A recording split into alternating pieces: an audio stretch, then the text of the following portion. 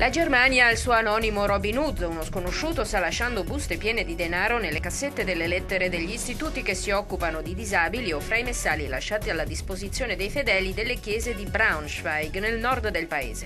Lo sconosciuto benefattore ha già donato 190.000 euro.